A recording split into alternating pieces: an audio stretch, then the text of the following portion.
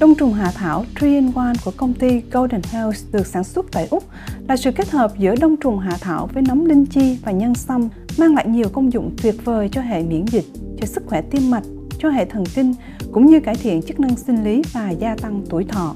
Một sản phẩm không thể thiếu cho các cụ ông, cụ bà, cũng như những người bị suy nhược cơ thể có nhu cầu bồi bổ sức khỏe. Mọi chi tiết vui lòng liên lạc số điện thoại 0452 067 535 hoặc email đến vftv 2022 gmail.com. Nhà hàng Liberty Palace với phong cảnh sang trọng, hiện đại và ấm cúng, cùng gian đầu bếp chuyên nghiệp, nơi lý tưởng để tổ chức các bữa tiệc cưới hỏi, sinh nhật cũng như họp mặt bạn bè. Với hơn hai chục năm kinh nghiệm trong lĩnh vực chiêu đãi, chắc chắn nhà hàng Liberty sẽ đáp ứng được mọi yêu cầu của quý khách để tất cả các bữa tiệc lớn nhỏ đều được hoàn hảo, bảo đảm là quý khách sẽ hài lòng. Mọi chi tiết xin liên lạc anh Peter Hồng qua số 0408 066 966 hoặc đến thẳng địa chỉ 2 trên 256 Chapel Road, Bankstown, New South Wales 2200.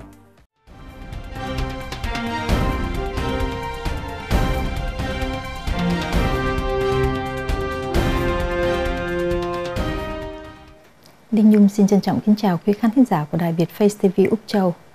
Kính thưa quý khán thính giả của Việt Face TV, mặc dầu vấn đề lạm phát vẫn hãy là một đề tài được quan tâm và tranh luận. Trong phần tin thế giới, kết quả sơ khởi của cuộc bầu cử quốc hội tại Thái Lan cho thấy đảng quân nhân đã thất bại, trong khi tập hợp các đảng dân chủ thì lại chiến thắng. Nhưng ai sẽ là thủ tướng thì vấn đề này vô cùng phức tạp so với sinh hoạt tại các quốc gia dân chủ phương Tây. Và sau đây là phần tin chi tiết trong bản tin vào lúc 3 giờ chiều hôm nay, thứ ba ngày 16 tháng 5 năm 2023 của Vietface TV.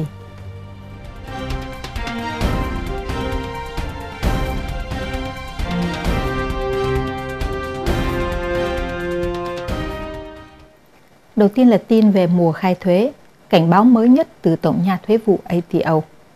Hôm qua, Phụ tá Ủy viên thuế vụ ông Tim Law nói rằng Tổng nhà thuế vụ ATO đang quan sát chặt chẽ vào các lĩnh vực mà người khai thuế thường mắc sai lầm, đặc biệt là đối với những người làm việc tại nhà và những người có nhà cho thuê. Ông Tim Law đồng thời cũng cảnh báo rằng năm nay người khai thuế có thể sẽ nhận được số tiền bồi hoàn thấp hơn những năm trước. Trong nhiều trường hợp, người khai thuế còn có thể phải trả thêm tiền thuế cho ATO vì phương thức khấu trừ thuế đang có nhiều thay đổi. Theo nhận xét của ông Tim Low, thì 90% những chủ nhân có nhà cho thuê thường khai thuế không chính xác. Trong số này có đến 87% các gia chủ đã sử dụng kế toán viên để giúp việc khai thuế được bồi hoàn nhiều hơn.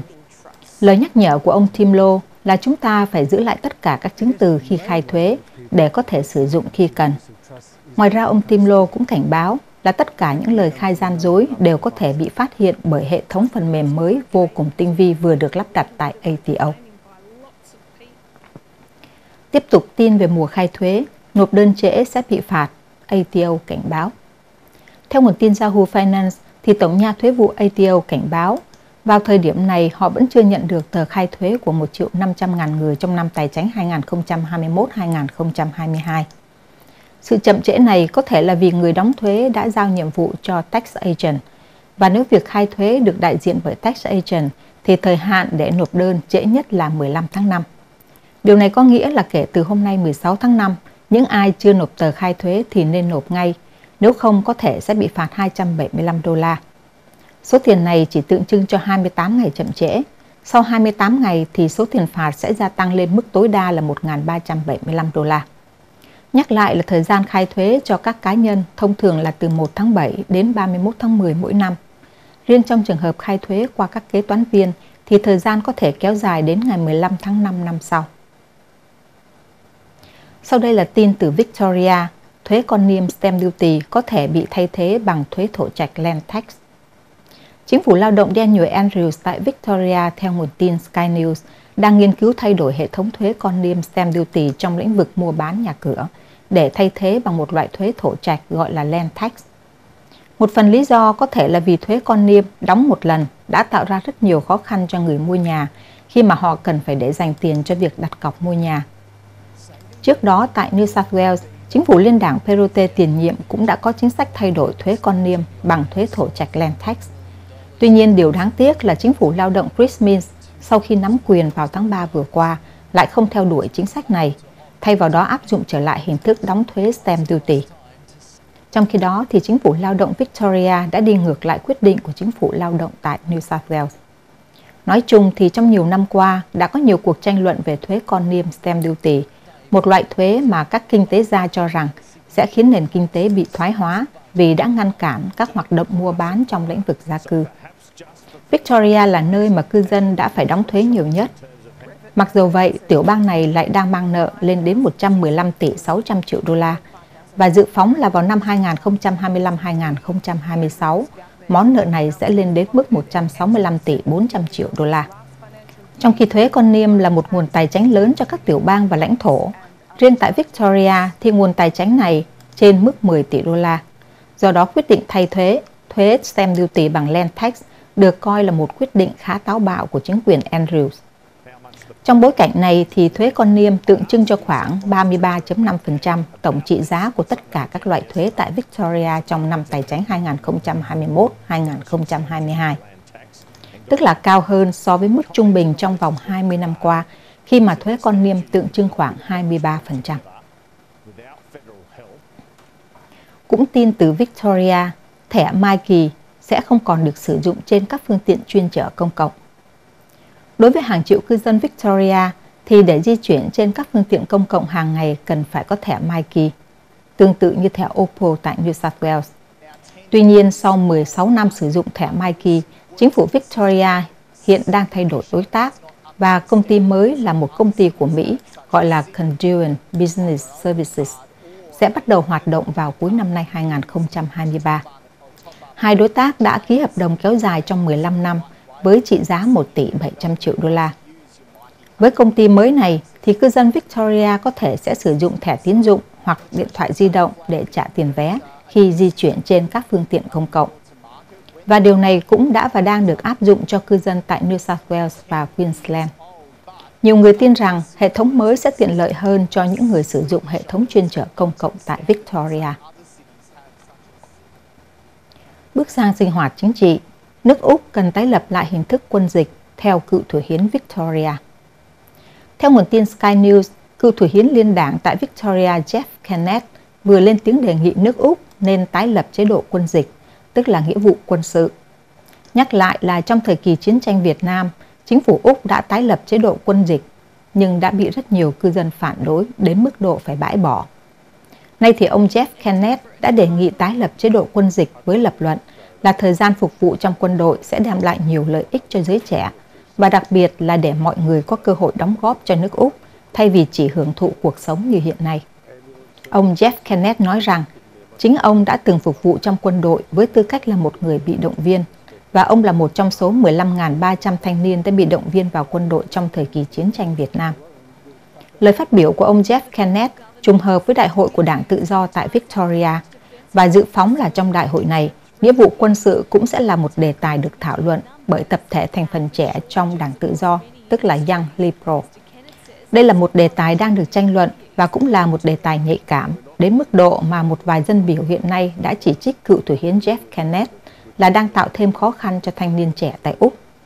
Tuy nhiên, lập luận của ông Jeff Kennett là thành phần trẻ ở lớp tuổi 20 có thể phục vụ một hoặc hai năm trong quân đội và họ có thể lựa chọn không quân, hải quân và bộ binh hoặc cũng có thể phục vụ trong lĩnh vực dân sự như là cảnh sát, dịch vụ khẩn cấp xe cứu thương tại Úc cũng như tại các nước ngoài.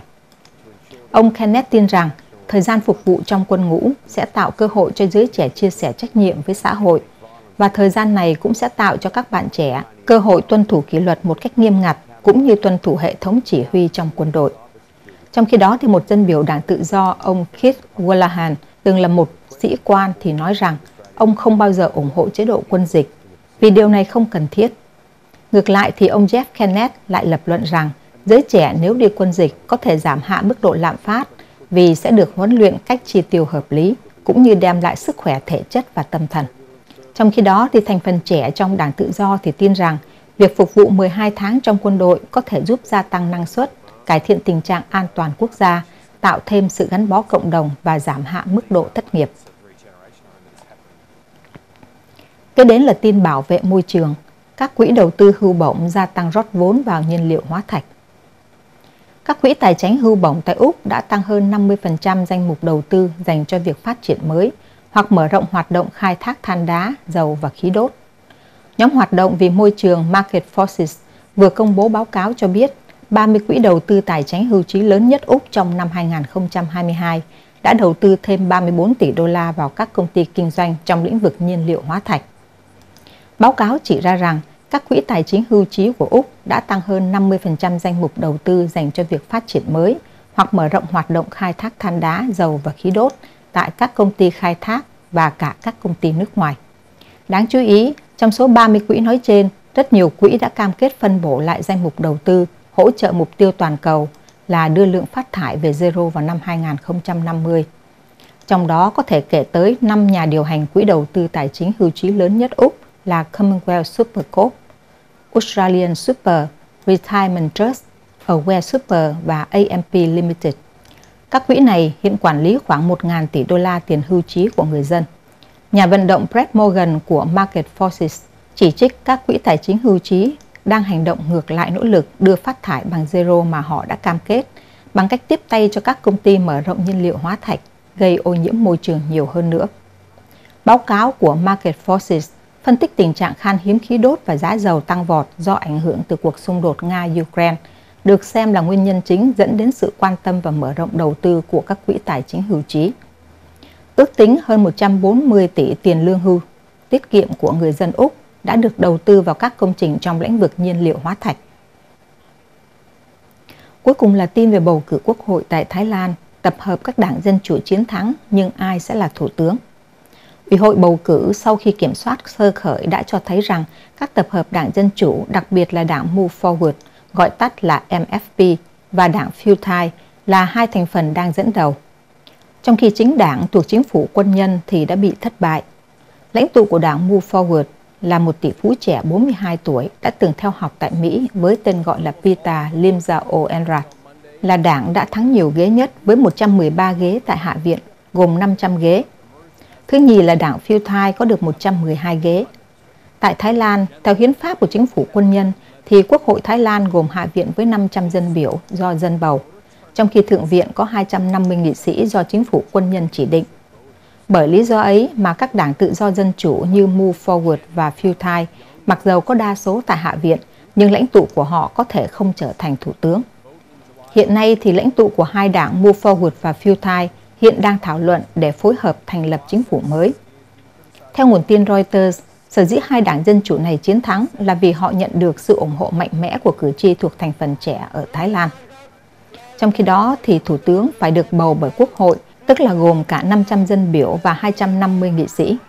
Bởi lý do ấy mà một ứng cử viên thủ tướng phải đạt được đa số trên tổng số 750 dân biểu và nghị sĩ. Đây là một trò chơi có vẻ không hoàn toàn dân chủ, vì Thủ tướng quân nhân đương nhiệm ông Chanucha đã có sẵn trong tay 250 phiếu. Điều này cho thấy là mặc dầu đảng của chính phủ đã thất bại, nhưng điều này không có nghĩa là ông Chanucha không thể làm thủ tướng.